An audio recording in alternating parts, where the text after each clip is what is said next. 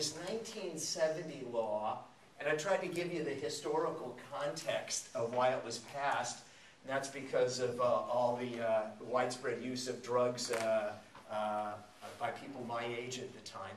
Uh, but um, and so they passed this Drug Controlled Substances Act, and they created a new enforcement agency to regulate those drugs that they felt were likely to be abused. Uh, and uh, the, originally, these were drugs that tended to cause physical addiction, but they've actually, as we'll see, they broadened this thing as far as drugs that can be abused, because now it includes anabolic steroids. Anabolic steroids, it's not like you become physically addicted, uh, per se, not in the same way as you would to uh, heroin or, or, you know, or, uh, codeine. Uh, but anything they think will be abused. And uh, the enforcement agency uh, are commonly called the NARCs. that's the Drug Enforcement Administration, or DEA. And that's under the U.S. Department of Justice. So this is a totally different agency from the FDA. Now, um, uh, the, uh, what they did is they established five schedules of controlled substances uh, based on their uh, potential for causing dependency or being abused, uh, and also based upon uh, how useful they were, therapeutic they are. Uh, if we look at, um, on the bottom of page A6, this is a simplified scheme here of the five schedules of controlled substances. I'm going to go through them in a little bit more detail, but this is on the bottom of A6. So you can see Schedule 1, Schedule 2, Schedule 3, Schedule 4, Schedule 5, and it gives some examples of these. But uh, let's, uh, let's be a little bit more systematic. On page uh, A7, on A7, so anytime a, uh, a physician, a dentist, anybody who's able to write a prescription uh, is going to write a prescription that is regulated under the Controlled Substances Act, they have to be registered with the Drug Enforcement Administration, or DEA. And so they have to actually uh, have a DEA number uh, so that they can track the person who's uh, prescribing controlled substances. Who's seen a prescription form where it has a DEA number? Have ever seen that? Mo mo almost all the dental forms will have the DEA number on that. Uh, why? Because commonly uh, narcotic drugs are prescribed by dentists, you know, for pain relief.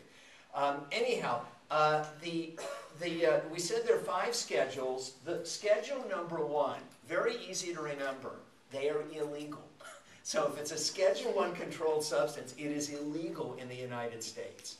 Uh, the Schedule 2 through 5, if you write a prescription, the prescription, and you have to always date a prescription, uh, the prescription is good for six months, and after that, you can't use it if it's a controlled substance. Um, as I wrote, the prescription can be filled out by anyone. A dental hygienist, uh, you could fill this out, but it has to be prescribed, uh, uh, signed by a person who is uh, licensed to go and uh, prescribe drugs. Okay, so what is Schedule 1? Schedule 1 substances can't be prescribed at all. They are illegal. They are not listed. They are not listed in the um, in, in, the USP, the United States Pharmacopoeia. And these are basically drugs that are viewed as having a high potential for dependency and no accepted therapeutic use. So an example of a Schedule 1 controlled substance is heroin and LSD. Uh, so you can't go to the, uh, you can't get a prescription for LSD. You can't get, you know, gee, I really like to have some LSD. Uh, you can't get a prescription for heroin. Now that's in the United States. Interestingly, uh, uh, Canada, heroin is a legal drug. Uh, it, it's a controlled substance in Canada, but you can get a prescription for heroin, but you can't get it in the United States. Um, now, uh, Schedule 2 controlled substances, so these can be prescribed. They are viewed as having a high potential for dependency, but they have accepted therapeutic uses, at least as far as the United States is concerned. Now, if you're prescribing a Schedule 2, or as we're going to see, Schedule 3 controlled substance, you have to use a special prescription form called a security or tamper-resistant prescription form. Has anybody ever seen these? These are special forms that can only be used, uh, or I, uh, let me put it this way. If you're prescribing a Schedule 2 or Schedule 3 controlled substance, you must use this special tamper-resistant form. You can't use a regular form. It's a special form. And uh, let's just show you what it looks like, in case you uh, haven't seen it. Take a look at page A12.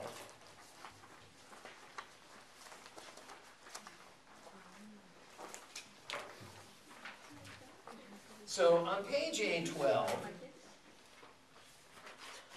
all right, this is a, uh, a special security or tamper-resistant form, prescription form, and uh, among the features that it has, and it has to have by law, is the DEA number is printed on the form. It's not like they can write it, it should be printed. Uh, the, um, you'll notice that when I photocopy this prescription, you might be able to make out that in the background it says void. So in other words, you can't photocopy it. It won't work because it appears. Now you don't see that on the form.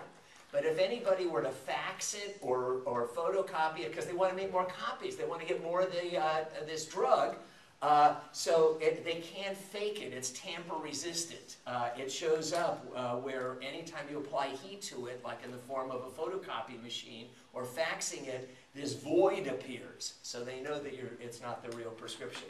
Another interesting feature, and we're going to talk about prescription writing in a moment, uh, we're going to be learning that the first line, and I'll go through this in more detail, the first line, the prescription uh, basically consists of three lines.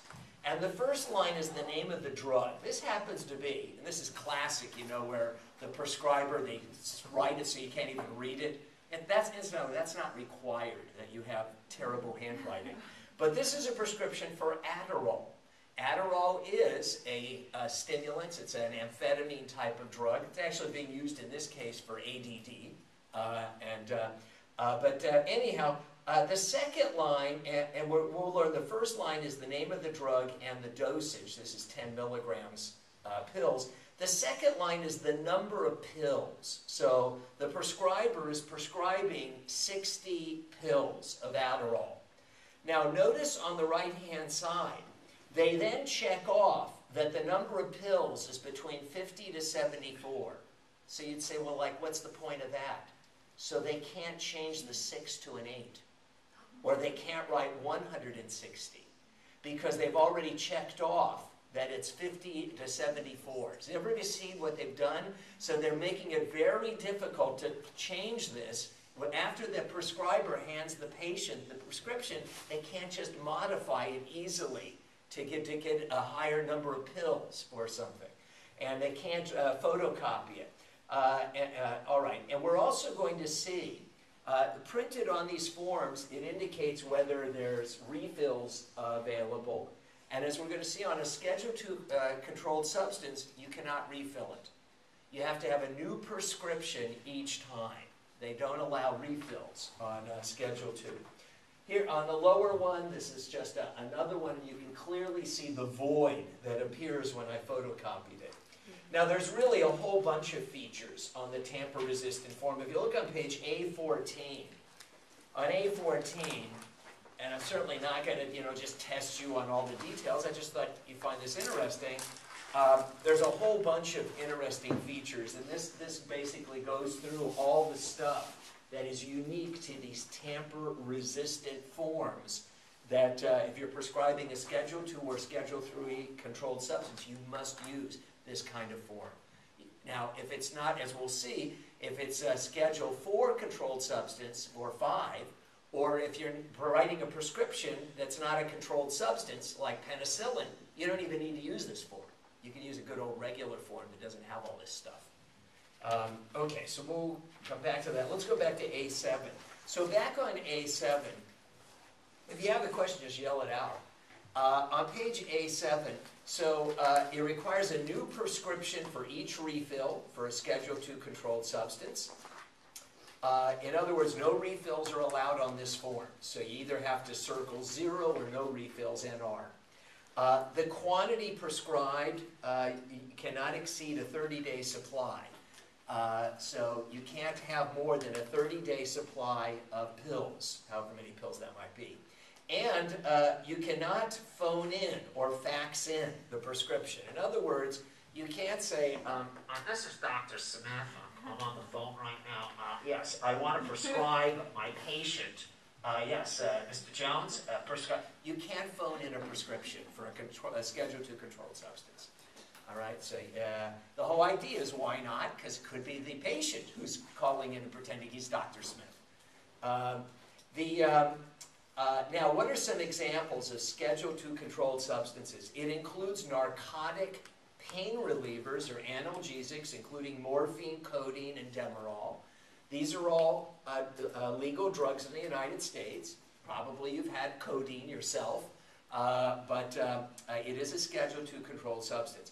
It also includes stimulants. Cocaine is a legal drug in the United States. You can prescribe it, but it is a highly regulated Schedule II controlled substance. Remember, Schedule I are illegal.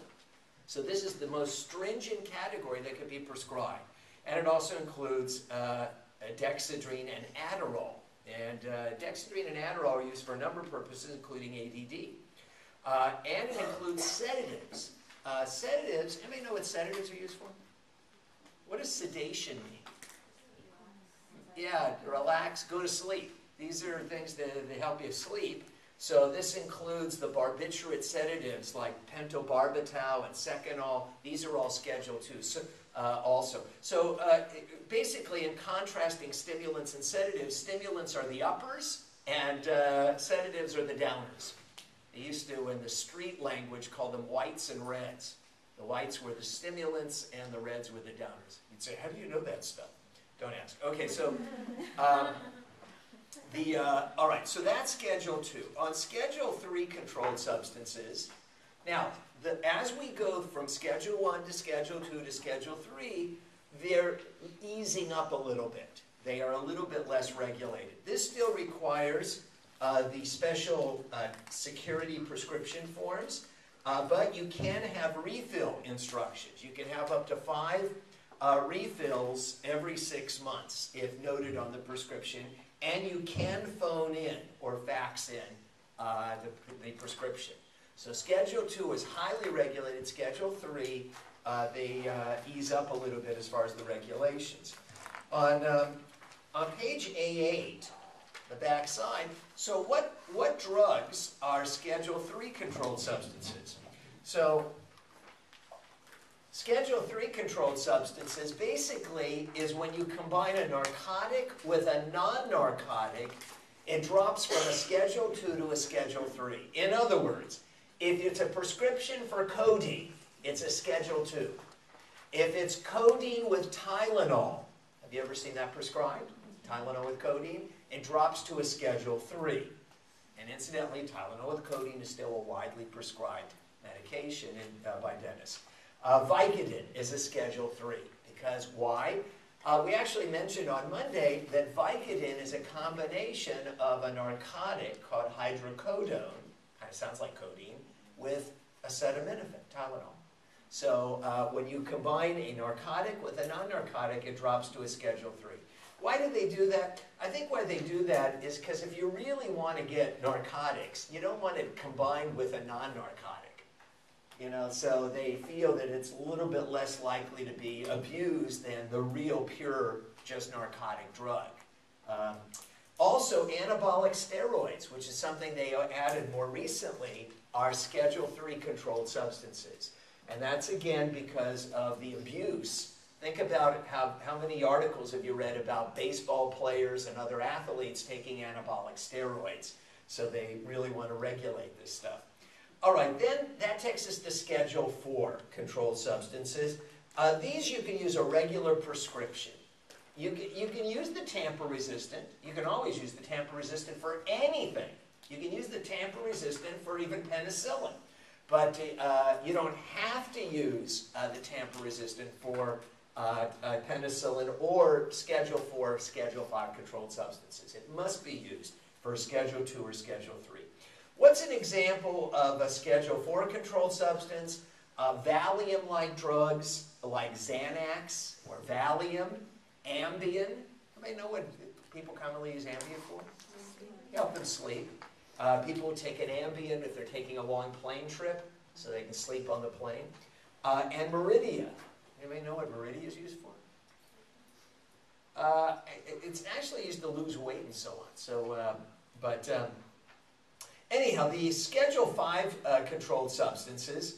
Uh, so, what's Schedule Five? This is the lowest level of controlled substance, and so uh, these are viewed as uh, drugs that with a little little potential to be abused, and there are really no refill limitations. You, you can use a regular prescription form. You still have to have a DEA number.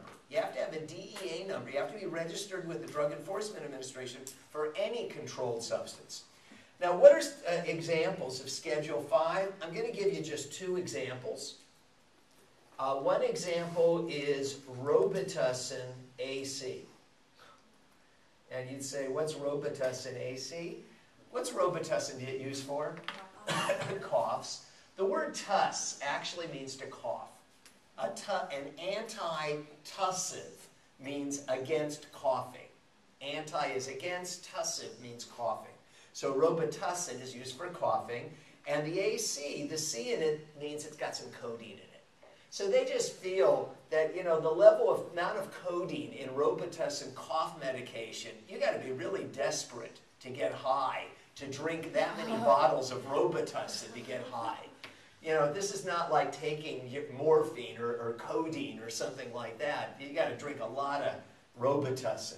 And the second example I'll give is a drug called Lomotil. Has anybody ever heard of Lomotil? Huh? Exactly. It's anti-diarrhea. It's used when you got really, really bad diarrhea. And you might say, well, what's, why? Uh, first of all, why it's called Lomotil, and that's a registered brand name. Remember, I, we learned on Monday that when we put the little R in a circle, that's a registered brand name. I also mentioned that most registered brand names are three syllables. Lomotil. All right? That's just how they tend to name them. They, the generic or official names are never quite as easy to remember. Uh, so Tylenol, three syllables, isn't it? Tylenol. Uh, but uh, acetaminophen is a little bit hard to remember. Anyhow, why it's called low Lomotil is it lowers GI motility. Low motil, motil, low motil, low motility. Decreases GI motility. Now, why is this a regular, a controlled substance? Uh, you might have learned that narcotic drugs have a side effect of causing constipation. Has anybody ever heard of that? A side effect of, of narcotics, including codeine, including Vicodin, is they can cause constipation. They take advantage of that because if somebody's got really bad diarrhea, the runs, they take something that's got a narcotic in it to cause them to constipate them so that they don't have such bad diarrhea. So it is a, uh, it is a narcotic, but it's very, very weak. It has very little of these euphoric effects of a narcotic, but it does still retain the uh, constipating effect of narcotics. So it is a, a regulated or controlled substance, but uh, you know somebody to get high on Lomotil really has to be desperate to go and uh, want to get constipated like this. All right, so these are uh, some examples of um, uh, controlled substances, uh, uh, five schedules of them. Um, let me give you one last law. Uh, it's not so much that I'm going to test you on it, but it's worth noting. In 1984, a, a federal law was passed.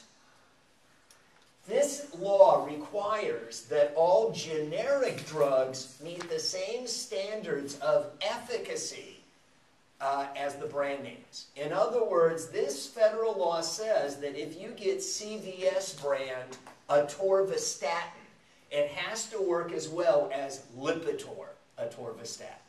So, it, it, you know, commonly, you, you, I'm sure you yourself have wondered, or you've been asked, are the generics as good as the brand names?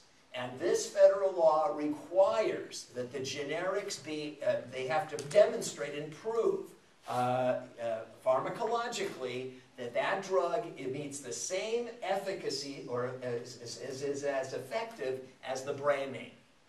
Remember, after 20 years, anybody, any manufacturer can make that uh, drug, but it has to meet the same standards. So, in theory at least, all the generics should work just as well as the brand names, and they sure cost less. Yep. Just to go back to like when they're being prescribed, and Uh-huh. like some schedules say it can be found if that So if it can't be found or faxed, how does, how does the prescription get out? Well, uh, they, uh, it means that even if it appears void on it, if it's a Schedule uh, uh, four controlled substance, it's okay. Okay, Because so like they do allow it to be faxed. For Schedule Two, like how, how does a, somebody get like a prescription for? Oh, they have to carry it. And They have to hand carry it to the uh, pharmacist. Oh, but like the patient can do that. The patient, the patient's allowed to do it, they want to see the actual pen writing, Okay. Right? So that it's not just a photocopy or a faxed copy. So, uh, that, you know, so they can actually see the, you know, ink on it. And uh, that's how it has to be done. And if anybody's ever gotten, uh, anybody used, uh, had to get a prescription for a controlled substance and see these special forms. Uh, let me, I, I before I go any further, we've kind of presented the laws that I wanted to do. Uh, let me kind of summarize a couple of concepts here. And uh, so I want to look at page, if I can find it.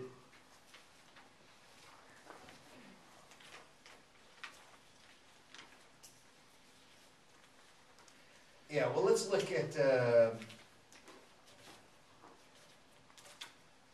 reorganize this.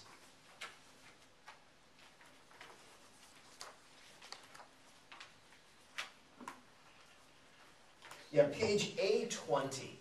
So let's take a look at page A twenty.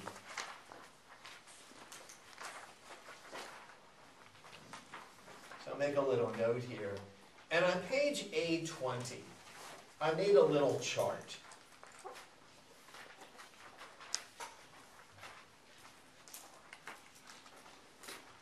So let me give you some examples of drugs so that we can understand the difference between the FDA and the DEA. Because there's two regulatory agencies that have overlapping uh, responsibilities in terms of medications. So uh, I'll give you, I'll list three drugs here. Uh, let's uh, use the drug, uh, how about, uh, we'll do Vicodin. And we'll do amoxicillin. Amoxicillin is a generic name. And, uh, and let's do, um, uh, uh, we'll do uh, Advil. Okay, these are three drugs, very widely, commonly used. So, the FDA, the Food and Drug Administration, is, under the U.S. Health Department, is the drug, agency that approves drugs, and they determine, among other things, whether the drug can be uh, sold over the counter or whether it requires a prescription.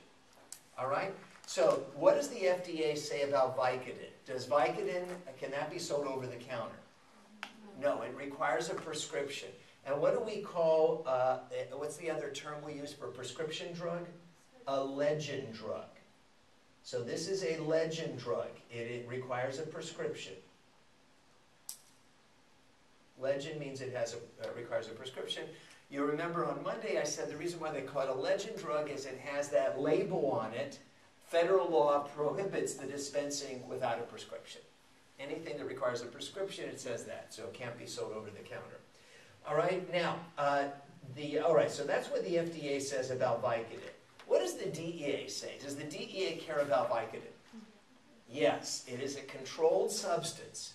So in other words, in, uh, the, the, Drug Enforcement Administration under the U.S. Department of Justice call, says this drug can be abused, and in fact, Vicodin is a Schedule uh, 3 controlled substance.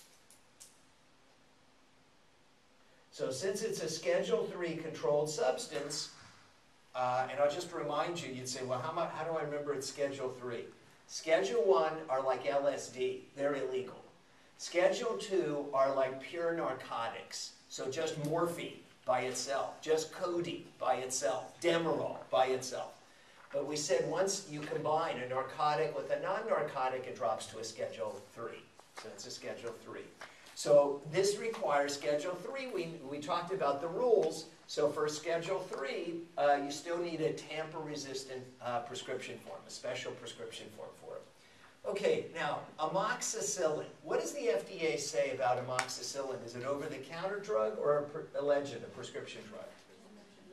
It's a legend drug. The FDA does require a prescription.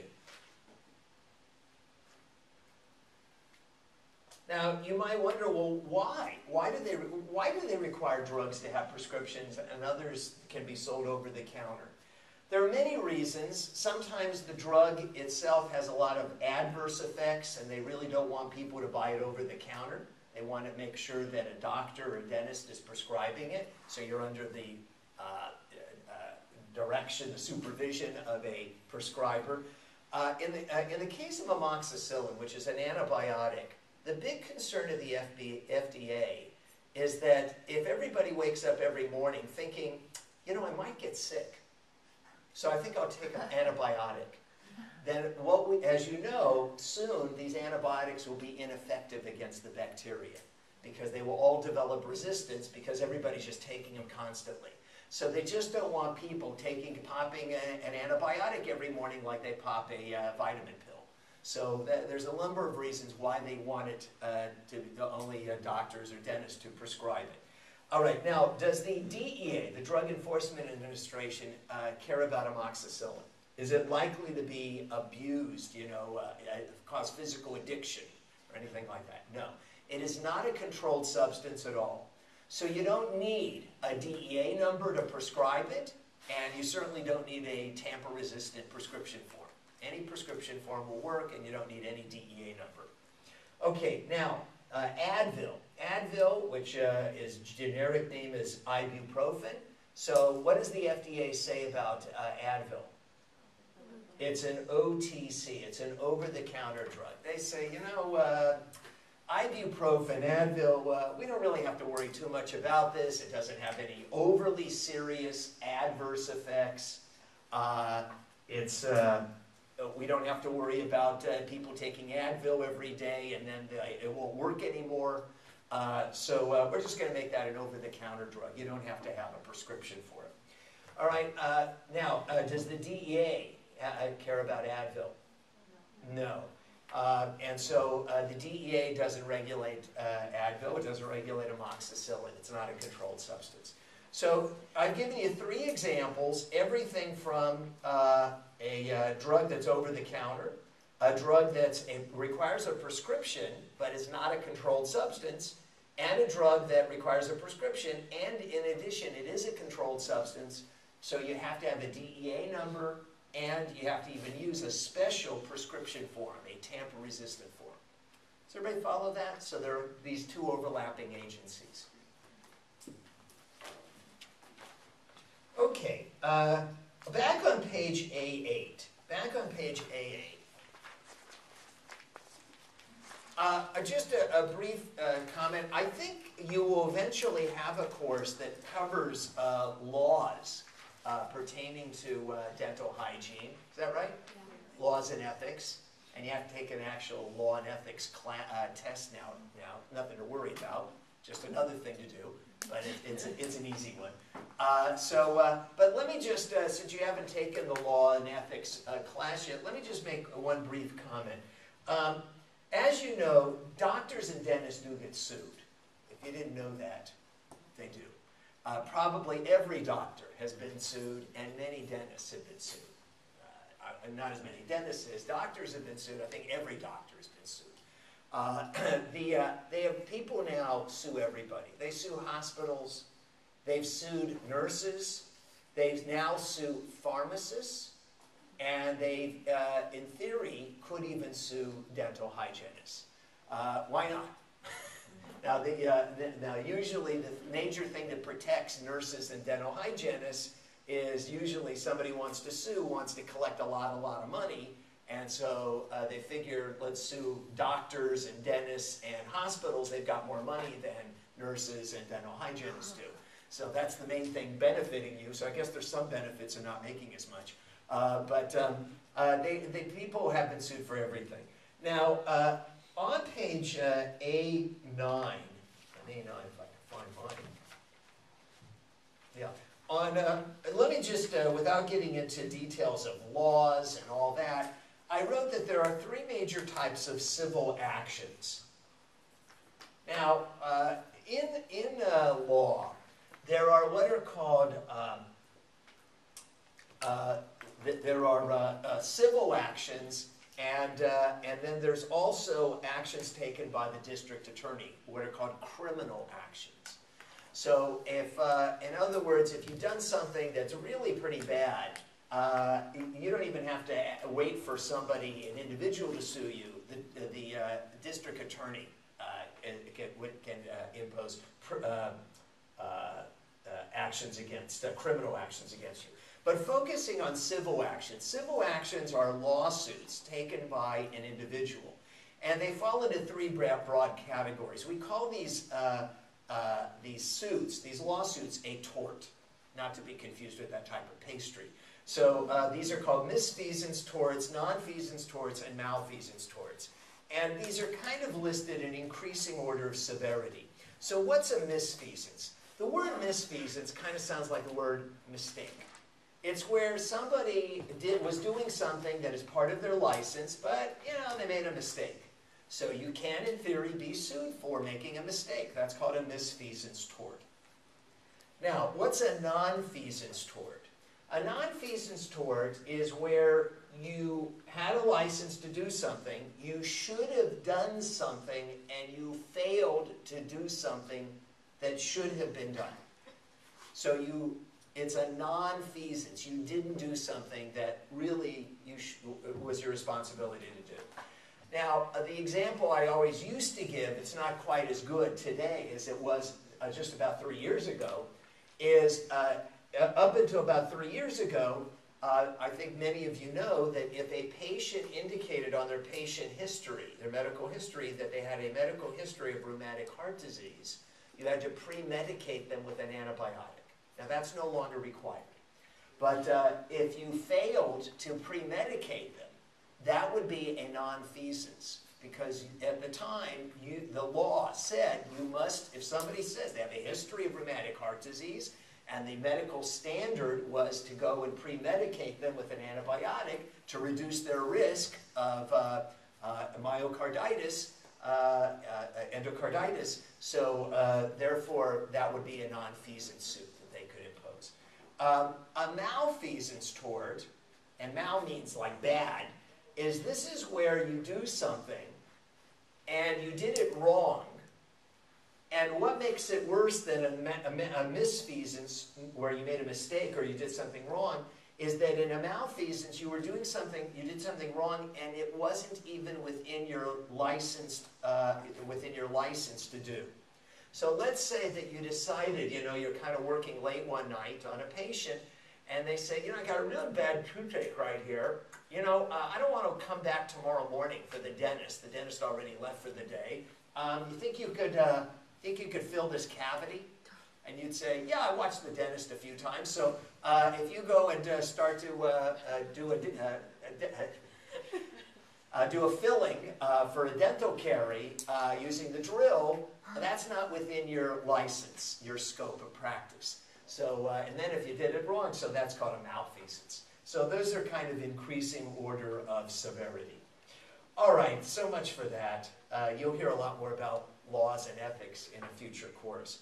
Um, as far as sources of information, uh, on Monday we talked about the United States Pharmacopoeia, the USP.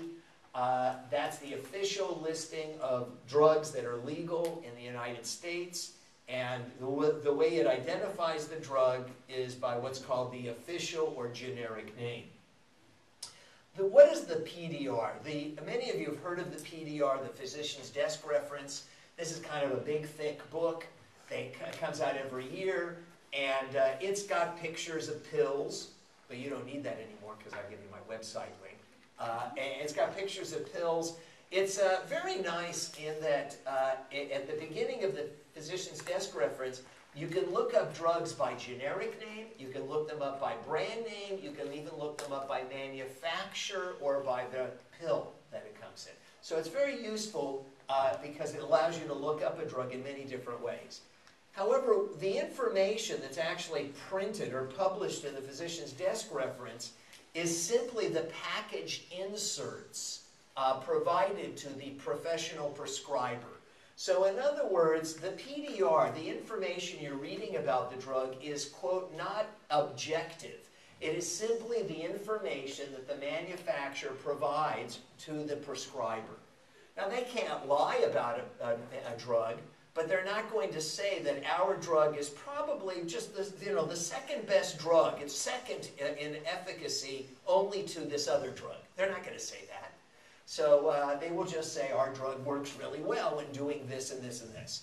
Um, if you want to get a more objective understanding of which drugs are viewed by people who study pharmacology, which drugs are considered the best drugs or better drugs, which ones are considered not as good drugs, then you have to look at some objective source that's not just printed or published by the manufacturer of the drug. So the problem with the PDR is it's just the package inserts provided by the manufacturer. So that's why you know people go to uh, site either websites or books that are deal with the subject of pharmacology, where presumably academics who study this stuff can objectively evaluate the drug. All right, so I just thought I'd point that out. So a PDR is not a pharmacology book. It is simply a compendium of the package inserts uh, made available by manufacturers of drugs. Uh, okay, on page uh, A10, on A10, I want to tell you a little bit about prescription writing.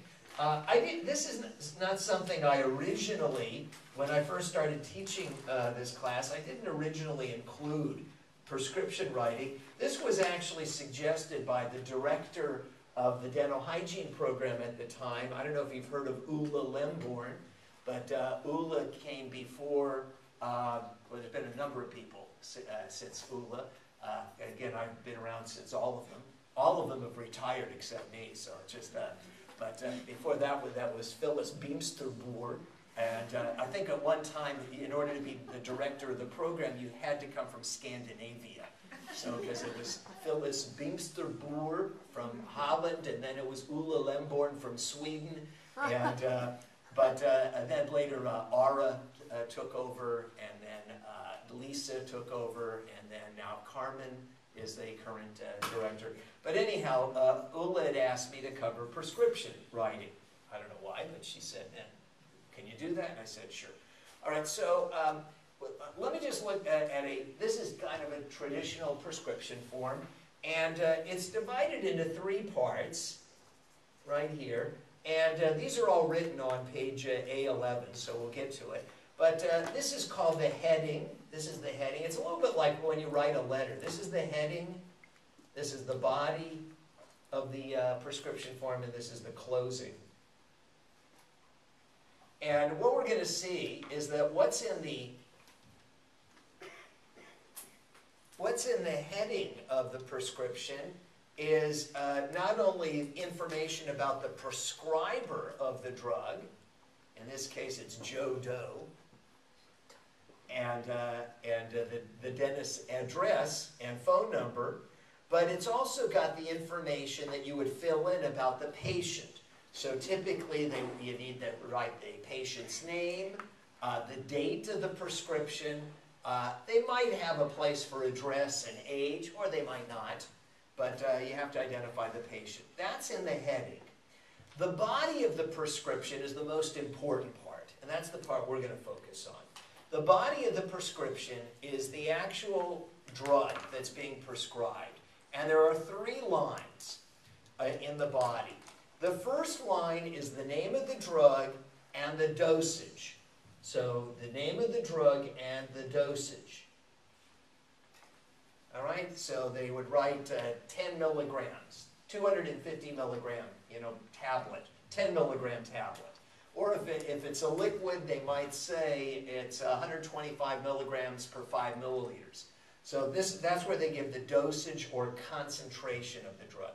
The second line is the number of pills that are being uh, prescribed, the number of tablets. You know, 20 tablets, uh, 12 tablets, uh, 100 uh, tablets, 125 um, milliliters. So that's the amount. The third line uh, and incidentally, the second line has this, it begins with DISP, dispense. Dispense 10 pills, dispense 60 pills, dispense uh, 125 milliliters. The third line has this abbreviation SIG. And sig is signa. And you'd say, what's signa or sig? That's the directions to be written on the uh, label of the, uh, uh, of the uh, drug. So in other words, you know they always type out on the label of the uh, drug, on the little pill container, the directions to the patient. So what follows SIG or signa, SIG is an abbreviation for signa, are the directions to the patient. So, in, and they commonly will use abbreviations. There is no requirement to use abbreviations, but they commonly do. So in this case, what are the directions to the patient? One tab, all right, so they're supposed to take one tablet. Q, Q means every, every four to six hours. PRN, anybody know what PRN is? It's, uh, we'll see it written in a moment. It's if Latin for pro rata, which means as needed. So PRN means as needed for pain. So the directions that would be written on the bottle, on the prescription bottle, would be take one tablet every four to six hours as needed for pain. Now, there's no requirement that you have to use abbreviations, but they kind of like making it secret. You know, it's like nobody knows what I'm writing. so, uh, so that's the, those are the three uh, lines of the body, and that's the most important part. Now, what's in the closing? What's in the closing is where the prescriber would sign their name, and uh, they might uh, have uh, they might write in or have the DEA number printed, and there might also be refill instructions. Uh, and also, we're going to show you this Nowadays, they might also have an instruction for whether a generic drug can be substituted. So they might write it out for Lipitor, but it might say generic acceptable.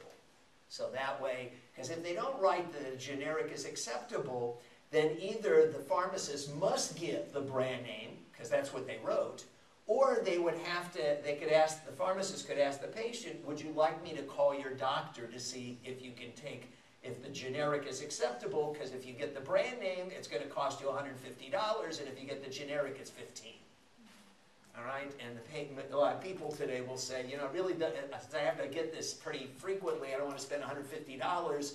Yeah, call them to see if I can get the generic, CVS brand. Uh, all right, let's let's go through that a little bit more systematically. On page A11, uh, A11 all right, so on A11, so the parts of the prescription are the heading and the body and the closing. Uh, the uh, heading is where the uh, name and address and phone number of the prescriber are, and the name, address, and phone number of the patient, and the date. Date is very important. Uh, the body is the most important part, the part that we're focusing on. It begins with RX. Everybody has seen that where it says RX. And RX is an abbreviation for recipe. And, and recipe in Latin was basically, uh, the, uh, it basically means uh, this is what you should do. Now, let me just kind of take you back historically. You know, uh, what we call the pharmacist today, most pharmacists today they dispense pills and they just count pills out. The uh, kind of symbol for the uh, pharmacist, and a pharmacist used to be known as a chemist or an apothecary. And the symbol was the mortar and pestle. And that's because in years past, they didn't have pills to dispense. They had to sit there and grind up the leaves, you know, and actually make something with a you know mortar and pestle and prepare something. They don't do that anymore. There's almost very almost nothing they prepare. But that's how it used to be, so this is what you're supposed to take. Uh, and they would prepare it. So uh, anyhow, be that as it may. So there are three lines in the uh, body. Uh, the first is the name and dose of the drug. The second is uh, begins with dispense or DISP, and that's where you indicate the number of pills. Uh, it you can write the number uh, as an Arabic number, or you could uh, write it in Roman numerals. Right? Sometimes they do Roman numerals. And then it says signa or Sig, uh, and these are the directions to the patient that are transcribed on the container. The closing uh, is where they uh, have the signature of the prescriber, any refill instructions, and a space for a DEA number. Let's show you just a, a, a couple of uh, others here. Um, uh, on the on the previous page, A10. This is on the bottom of A10. So this is just looking at the body of the prescription. And uh, so here it says uh, RX, and there's three lines that are important right below RX. The first line is the name of the drug and its dosage. So the prescription is for penicillin V, potassium, and the dose is 500 milligrams. So that means these are 500 milligram tablets. All right? The second line is the how many pills. Dispense, how many? 12. What's the third line? SIG.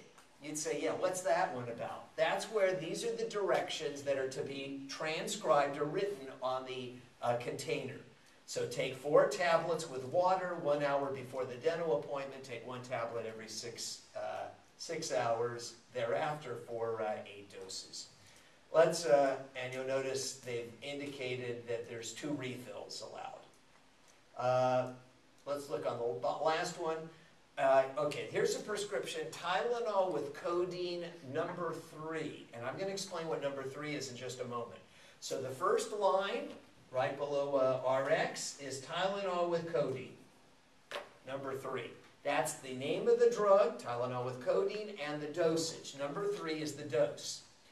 Second line, dispense. How many pills? 16. And sometimes what they'll do today, they encourage uh, doctors and dentists to do this, is you can write the number and also write out the word so people don't play around with it. Now remember, uh, on a, uh, on a tamper-resistant prescription form, it's really hard to change the numbers. But on a regular prescription form, you know, like if it's just for amoxicillin, you don't have to have a tamper-resistant one, so people can still try to play with the numbers. So if you write out the word, it's harder to change the word than it is to change a number. Right? You can always add uh, an extra number to a, a, number, but if it just says uh, 16 tablets, yeah, you can't change that. You could change this to read 160. Um, and then the directions to the patient, take one or two tablets every four hours is needed for relief of pain. Uh, here, substitution means that they're allowed to substitute and give a generic as opposed to uh, Tylenol with codeine, which is a brand name. And notice no refills here. And there is a DEA number. All right, so uh, let's look at something else. Uh, take a look at page, uh, oh, let's see, that's a 10, 11. Um, yeah, let's look at A13. A13 for a moment. All right, in the middle of page A13,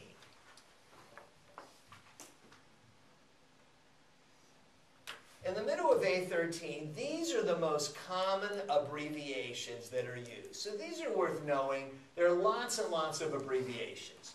So uh, the BID is an abbreviation for, anybody know? Twice a day. It comes from the Latin. I'll show you another page where it shows you the Latin. Anybody ever study Latin in the class? All right, it's, it's bis in day, and bis in day uh, is twice a day in Latin. So uh, two times a day. Uh, TID is tris in day, or three times a day. QID is quarta in day, or four times a day. So twice a day, you know, B like bicycle, two wheels in a bicycle, by. Uh, tricycle, three wheels, three times a day. Uh, and if you have, I don't know what, day yeah, if you're quadriplegic, none of the limbs work, I don't know, so that's four times a day. Now, when you see Q6H, that means every six hours. And you could write Q6H, Q4H, Q12H, you know, it just means every so many hours. AC Technically, and again, you'll see this, not that you need to know it, AC is Latin for ante cibum, which means before meals. Before meals. Ante cibum, AC, before meals. HS, hora somni. Hora somni in Latin is the hour of sleep. In other words, it's at, not, at sleep time, at, at the time of you go to bed. Or HS, at, at uh, the time you go to sleep. The hour of sleep. PRN, everybody remember what I just said PRN means? As needed. Pro re nata, as needed. And PO, anybody know what that is? By mouth. Yeah, by mouth. Per os. Per os, which is by mouth. Those are the most common. All right, so those are probably worth knowing. Now, uh, when you prescribe, um, when, you pre- when a, a prescription is done for a liquid, you know, uh, as you know, in the world of chemistry, you've all had chemistry, so you know you, use the metric system. So we, uh, they measure out, you know, five milliliters, 120 milliliters of a drug. The problem is, if you tell a patient, okay, I want you to take five milliliters of this drug every four hours, most people don't know what five milliliters is in the United States, and they don't have any way of measuring five milliliters. So five milliliters is approximately one teaspoon. So they will say, even though they want them to take one, five milliliters, they'll say one teaspoon. All right, you should know that. And uh, uh, uh, now, another thing I should tell you about. There are, uh, most drugs today, uh, given as a pill, are in milligrams, a metric unit. 10 milligram pills, 5 milligram pills, 250 milligram pills, that's the majority of drugs. There, they did, a long time ago, when they called pharmacists apothecaries, they used to use this unit called grains. And they had quarter of a grain and a half a grain and a grain and two grains. So this is called an old leftover residual from the old apothecary system. And uh, in general, they don't use it, but there's still a few drugs that they still express using that old grain unit, GR for grain, not for a gram, but G, G is gram, uh, GR is grain. So how much was a grain in this old apothecary system? One grain was 60 milligrams. Now, before I go any further, you might say, well, I never heard of grains. What drugs do they still use in grains? They use drugs that have been around for a while. Aspirin. They will still talk about a five grain aspirin tablet. So a typical aspirin tablet is five grains. Incidentally, if aspirin is five grains, if it's five grains, then how many milligrams would that aspirin tablet be? If it's five grains in each tablet. 5 times 60, right? Each one grain is 60 milligrams. A 5 grain aspirin tablet would be 5 times 60 or 300 milligrams. So they still talk about 5 grain aspirin tablets. And the other one they still do with this apothecary thing is codeine. And so they talk about one grain or a half a grain or a quarter of a grain of codeine. These are both drugs that have been used for a long time. So they, codeine, uh, they still talk about grains. Now, they have a, another system they also, uh, that's related to the grains. Uh, one grain, we said, is 60 milligrams, and they will call that a number four pill, a number four pill. So when we, when you hear Tylenol with codeine number three, have you ever seen that? Tylenol with codeine number three. That means there's a number three is a half a grain or 30 milligrams of codeine in each tablet. Now, let me tell you how I remember this, right? Because you're going, my gosh, what kind of stupid thing is this? You know, and again, if if you didn't, if they didn't run into codeine, you wouldn't have to worry about it. But codeine is still widely used. So here's how I remember it. You know how there's 60 minutes in one hour? And there's four quarters in an hour.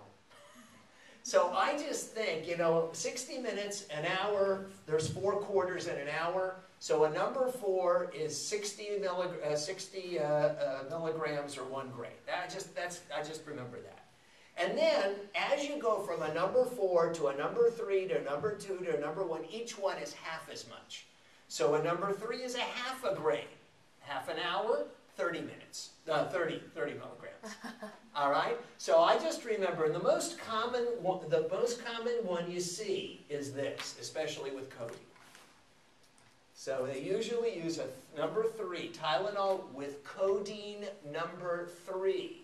And that means that each tablet has, it's a number three, it's got half a grain or 30 milligrams. So just remember, you know, an hour is 60 minutes, that's number four. And a number three is a half an hour, uh, a half a grain or 30, 30 minutes, 30 milligrams. Is everybody okay on that? So you do run into that one. Uh, on uh, page, on page A15, on A15, so I've given you the ones that I would like you to know. This is a more complete listing of all the crazy abbreviations use. All right, and then you can see that as far as uh, what these mean, as, for example, you'll see right here at the top right, PRN, as needed according to necessity, is pro rata. Uh, Q uh, means every, QD, uh, uh, Q4H, uh, every four hours, QID quarter and day. Uh, so that's, you, now you can practice your Latin. I'm not testing you. And at the bottom of the page, uh, we've already pointed out on the bottom right that common useful household measurements is that uh, one teaspoon is five milliliters. Uh, and uh, we've already told you about how one grain is 60 milligrams, and that's also called a number four. So th- as it says right here, this is the old apothecary system. And they still, it's still hanging around, it hasn't disappeared. You might say, why don't they get rid of it? Well, I have another question. Why don't they get rid of our English system? You know, why, why are we still measuring things in inches and feet instead of meters? Right? So just because people are resistant to change.